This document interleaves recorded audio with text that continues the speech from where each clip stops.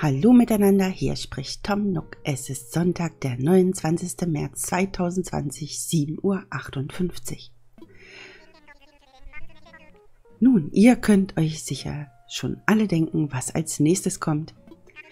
Ganz recht, unsere heutige Ankündigung. Wie in einer vorherigen Durchsage erwähnt, ist das Service Center jetzt fertiggestellt. Und das ist noch nicht alles für heute. Wir dürfen auch eine neue Mitarbeiterin begrüßen. Na, nur nicht so schüchtern. Ah, Melinda. Hallo, ich bin Melinda. Wie Herr Nook schon gesagt hat, arbeite ich ab jetzt im Service Center. Ich habe noch viel zu lernen, aber ich werde mein Bestes für die Bewohner von Averianien geben. Melinda hat schon Erfahrung auf diesem Gebiet, also wird sie sicher eine große Hilfe sein, hm? hm? Aber das war noch nicht alles.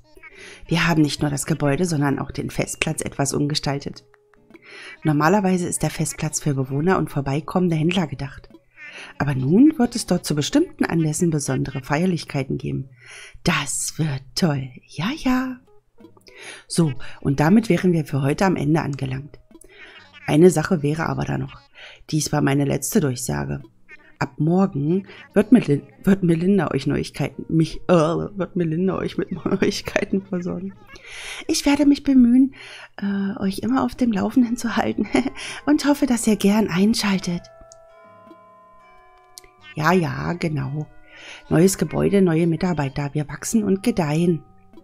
Schaut einfach im Service Center vorbei, um zu erfahren, was es Neues gibt. Hm? Natürlich werden wir noch eine kleine Einweihungsfeier für unser neues Service Center veranstalten. Wir hoffen auf eine rege Teilnahme. Das wäre dann auch alles, glaube ich.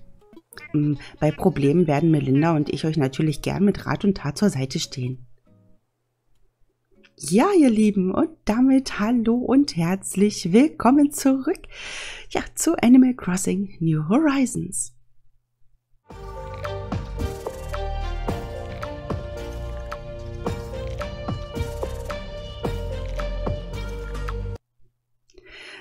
So, es ist Sonntag, das heißt, ich bin aktuell mit den Videos. Uiuiuiui.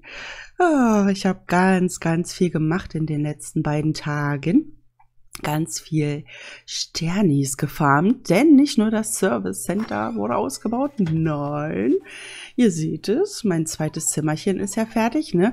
Und jetzt klingelt auch schon mein Nookphone. Mm. Hallöchen, hier Nepp aus Nux Laden am Apparat. Äh, dein Verkaufskistengeld ist da. Wir haben gerade 88.792 Sternis auf dein Konto überwiesen. Ja, ja. Äh, vielen Dank nochmal, dass du so fleißig unser Angebot nutzt. Bis bald, dann hoffentlich im Laden. ja, ich habe ganz, ganz viele Sternis gesammelt und die werde ich jetzt auch gleich mal mitnehmen. Uiuiui, ui, ui. das ist laut. Zumindest bei mir auf den Kopfhörern. Ja, ich werde heute, äh, vielleicht auch in den nächsten Folgen, mal die Stimmen nicht ganz so äh, intensiv machen können, weil ich mir so eine kleine Erkältung angelacht habe. Und wenn ich dann so in diese, ja, ich sag jetzt eher mal kratzigeren Stimmen reingehe, dann huste ich mich äh, fast dumm und dusselig. Und deshalb, ja, lass mal das jetzt mal lieber erstmal. So, ich, ihr seht schon, hier liegen 500.000 Sternis rum. Und ich hoffe, dass das am Ende reicht, denn ja, ich hatte ja das Service Center ähm, jetzt ausbauen lassen, ne? Oh, nee, die Pantoffeln wollte ich eigentlich hier lassen. Warten Sie bitte, meine Bettpantoffeln, ja? Oh, damit seht ihr im Endeffekt auch schon mein Schlafzimmer, ja? Ich habe ja hier ein bisschen, ja, rumdekoriert und ja ganz viele neue Klamöttchen gekriegt. Und gestern habe ich hier dieses Kleid gekriegt, das hier links. So eine Jacke mit Kleid, das ist doch voll knuffig, oder? Ja, aber ich finde auch mein momentanes Outfit super schön. Also so Alltagsoutfit, ne? Also so würde ich auch in echt rumrennen. aber kriegt der hier eigentlich permanent neue Klamöttchen. Total schön. Ja, was habe ich gemacht? Was habe ich gemacht? Wie sieht's bis jetzt aus? Ja, ich habe hier den Boden nochmal geändert. Dann habe ich den Tisch, mal die Tischdecke ein bisschen verändert. Ne? Die war ja vorher weiß und das fand ich irgendwie sehr langweilig.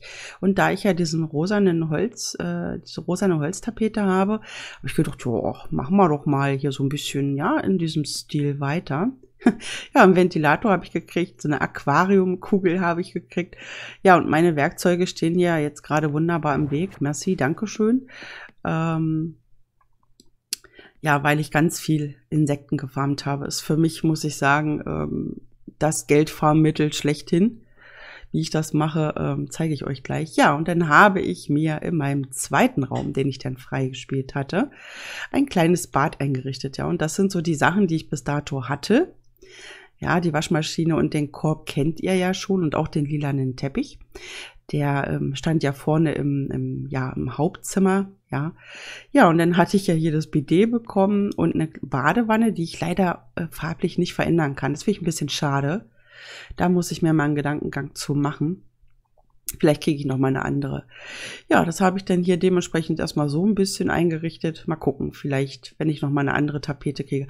Wobei ich ähm, diese, wartet, wir gehen hier mal rein. Nein, äh, da nicht. Nein, äh, warte, da. Ähm, ich möchte hier ganz gern. Ja, wo ist sie denn? Wo ist sie denn? Hier diese äh, Bambuswaldtapete dran machen. Ich weiß nicht, ob das dann übertrieben aussieht, aber ich werde sie mal versuchen. Ich werde sie einfach mal herstellen.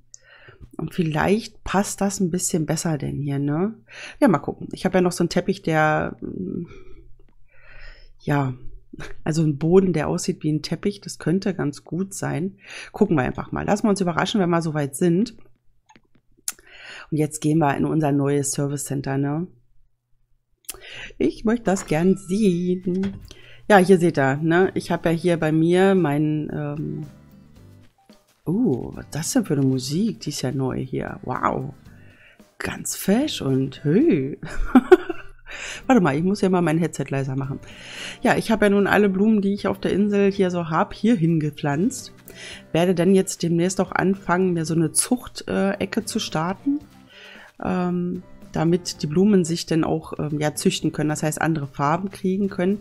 Einmal oder zwei Blümchen habe ich ja schon gezüchtet, das sind hier diese beiden, ne? in Orange, super schön. Ja, hier draußen, gestern habe ich noch aus dem Ballon hier so, so einen Gartenschlauch bekommen, fand ich ja knuffig. Ja, dann habe ich mir hier diesen ähm, Bambuskobold gestellt.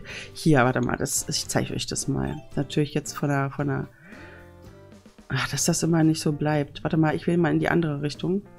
Vielleicht sieht man das dann besser. Hui, das geht dann ab. Ah, das kann man hier so schlecht sehen, ne? Das schwebt dann da so raus, der Kobold, und flupp. Und schon ist die Lampe wieder an. Super knuffig. Hallo, Staxi, na? Ich wollte dir heute noch eine Emotion zeigen, aber ich habe vergessen, was es war. äh, die hier war es. Wenn dir mal ein Missgeschick passiert, mach die Augen zu und äh, man kann sie aber auch einfach zum Spaß machen. Wo kommt dieser Stern nur her? okay, eine neue Emotion gelernt. Sehr cool. Missgeschick gelernt. das war ein Versehen. Sehr cool, sehr, sehr cool. Ja, und dann bin ich hier im Endeffekt den ganzen... Rüben. Und ich habe kein Geld für Rüben. Okay. Jonna, du bist, glaube ich, bis um zwölf da, ne? Kennst du Sigrid, meine Oma? Omi kennt fast alle, darum frage ich das auch jeden. Und sie meinte, ich bin ja jetzt schon ein großes Mädchen, da könnte ich mit dem Familiengeschäft helfen. also, äh, du weißt ja gar nicht, was das Familiengeschäft genau ist. Pass auf, ich sag's dir. Rüben verkaufen.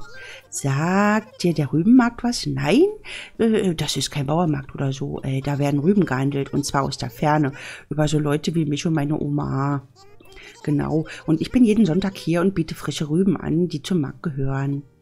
Ah, ich bin so doof. Ich soll doch nicht so direkt fragen, dann kauft doch keiner. Ähm, ey, Omi hat mir oft genug erklärt, was ich sagen soll. Also, äh, wie war das nochmal? Warte, warte. Ähm, jetzt, ähm, hey, weißt du schon, wie der Rübenmarkt funktioniert? Das ist was voll Interessantes. Ja, dann erzähl mal. Puh, äh, los, Jonna, kein Lampenfieber. Ähm, also, Rüben sind kein, äh, sind leckere Gewächse, die voll von die tollen Eintöpfe passen. Oder in Gemüsepfannen oder äh, äh, gar, äh, Moment, ähm, nicht die von uns. Omi sagt immer, die von uns sind zum Handeln da, nicht zum Essen. Wobei mit dem richtigen Gespür fürs Timing machen sie dafür äh, dein Sterni-Konto schön dick und prall. Soll ich weiter erklären? Äh, nee, warte mal, das können wir nachher machen. Ich weiß nämlich, wie es funktioniert. Dann ist ja gut. Omi labert die Leute auch immer total zu, damit zu. Das verstehe ich. Ähm, Im Moment kostet eine Rübe 107 Sternis. Magst du welche kaufen? Äh, warte mal, erstmal nicht. Vielleicht nachher. Ich muss erstmal ein bisschen Geld woanders investieren. Bis nachher, Jona. Du bist ja noch ein bisschen da. Ja, dann habe ich gestern Klamotten gekauft. Ja, hier. Schauen wir mal. Aber erstmal, ich möchte zuallererst in das äh, Service Center gehen, in das neue. Total schön. Uh, es wird langsam. Oh, schön. Ah, Averia, hallo, hallo. Äh, herzlich willkommen in unserem heiligen Service Center. Äh, heimil, heimiligen. Ach, ich sag ja immer noch Zelt. Ähm, jetzt haben wir doch ein herrliches Gebäude und alles nur dank dir. Also, ich hatte es ja bereits in meiner Durchsage erwähnt, aber äh, wir benötigen eine qualifizierte Kraft, die sich um äh, ein neues Gebäude kümmert. Also, äh, also hätten wir hier Melinda, die diese Aufgabe in ihre fähigen Hände nimmt. Ah, dann bist du Averia, ja? Ja. Tom Nook hat mir schon viel von dir erzählt. Heute ist mein allererster Tag hier, da werde ich sicher noch viel über meine neue Arbeit lernen müssen. Aber es gefällt mir schon richtig gut auf der Insel. Ich werde euch nicht enttäuschen, das verspreche ich. Hm, schön gesagt, Melinda. Ich werde uns die Arbeit aufteilen, damit es hier gleich noch besser läuft. Ich werde mich um alles kümmern, was in Richtung Bau, Eigenheim und generell Handwerkliches geht. Melinda ist derweil für dich da, wenn du Hilfe in puncto Inselleben, Betrieb und Organisation brauchst. Setz dich einfach an den richtigen Schalter und dann kommen wir gedüst wie eine ganze Flotte Dodo-Jets. Ach, und dank unserem tollen neuen System bieten wir nun auch niegelnagelneue Leistungen an. Hm, dann hätte ich da nur noch eine winzige Bitte an dich. Falls es dir nichts ausmacht, ähm, nimm doch mal an meinem Schalterplatz, wenn du ein Momentchen Zeit für mich hast. Unser Service Center ist jederzeit für dich und ganz Averien, Averianien da. Komm vorbei, wann du magst. Okay. Wo ist denn jetzt die Werkbank? Muss ich das jetzt über Tom machen oder wie? Gucken wir mal. Ah, ja. Karton, Karton, noch ein Karton, ein Setzling. Okay, die Sachen sind also in der Kiste geblieben. Ich habe die jetzt mal ganz provokant in der Kiste gelassen. Ne? So, dann reden wir mal mit Tom, weil er das ja möchte. Äh, Setzen Sie sich bitte. Oh, äh, hallo Averia. Und einfach so hast du dein Zuhause und einfach so hat dein Haus, Zuhause einen neuen Raum. Hä? Ähm, oh, ich kann heute nicht so reden. Ähm, ich bin ganz aufgeregt wegen dem neuen Service Center. äh, das macht alles gleich noch angenehmer. Ja, ja. Dann gäbe es noch eines nämlich die Kosten für den Umbau. Das macht 548.000 Sternis. Hm? Ah, ah ja, bitte führe Rückzahlungen wie zuvor über den Bankautomaten des Nook-Portals durch. Und dann ist da noch eine Sache, die ich dir sagen muss. Nach all diesen Verbesserungen an deinem Haus kann ich dir diverse Anpassungsmöglichkeiten anbieten. Ähm, es geht dabei nicht darum, dein Haus größer zu machen, sondern sein Aussehen zu verändern. Was genau wir dir anbieten können, hängt von der Größe deines Hauses ab. Mhm. Du hast also die Wahl, ob du zuerst Aussehen oder Größe deines Hauses ändern möchtest. Es ist immer ein Vergnügen, mit dir Geschäfte zu machen. Ja, ja. okay. Das machen wir auch gleich. Hm. Warte mal, das machen wir jetzt mal gleich. Denn ich möchte gleich das nächste Zimmerchen in Auftrag geben. So, wir entschuldigen uns dafür, dass das Nook-Portal wegen des Umbaus gestern nicht verfügbar war. Als Wiedergutmachung erhält jeder Kunde, der heute das Nook-Portal nutzt, 500 Meilen. Danke. Außerdem wird der Tagesbonus ab morgen so berechnet, als hätten Sie das Nook-Portal 7 plus Tage äh, benutzt. Wir hoffen, dass Sie auch weiterhin das Nook-Portal und Nooks Meilenprogramm nutzen werden. Ah ja, müssen wir ja. Bitte wählen Sie einen der folgenden Services aus. Bankautomat, ich möchte gern mal einzahlen. Und jetzt zahlen wir erstmal alles ein. So. So, dann haben wir jetzt nämlich genug äh, Abbuchung. Äh, pass auf. Ähm, hm, hm, hm. Bin hier immer. Hallo? Äh, fünf. Hallo, ich möchte gern darüber. Danke. kann man doch so machen. Er nimmt nur das, was er soll. Okay, alles klar. Und dann haben wir noch 96.000 über. Sehr gut. Ja! Hurra, damit ist mein Haus abbezahlt. Yay! Äh, Tom, ich möchte gerne ein neues Zimmer in Auftrag geben. Oh, hallo Averia. Äh, danke für die sorgsame Tilgung deines Kredits. Ja, ja. Ich muss einfach fragen, ähm, hängt die Abbezahlung vielleicht mit einem Erweiterungswunsch zusammen? Oh ja, dann habe ich gute Nachrichten. Es wäre kein Problem dafür, einen weiteren Kredit aufzunehmen. Sag mir Bescheid, wenn du mehr wissen möchtest. Hm? Ja, ähm. So, so, ja, ja. Dies ist der Bauberatungsschalter. Ehe ich hier losberate, lass mich rasch erklären, was genau du bei mir überhaupt so anstellen kannst. Ja. Ja. Ja. Hier kannst du Brücken errichten, Aufgänge wie Treppen und Rampen bauen, sowie gebautes Versetzen. Gut. Als urlaubsvergnügungssteigernde Zusatzleistungen berechnen wir dafür natürlich gewisse Gebühren, ist ja klar. so, ich möchte äh, äh, äh, wie kann ich Ihnen helfen? Machen wir erstmal das. Oha, ganz ungeduldig die, die Details zu erfahren. Wie? Naja, wer kann es dir schon verdenken?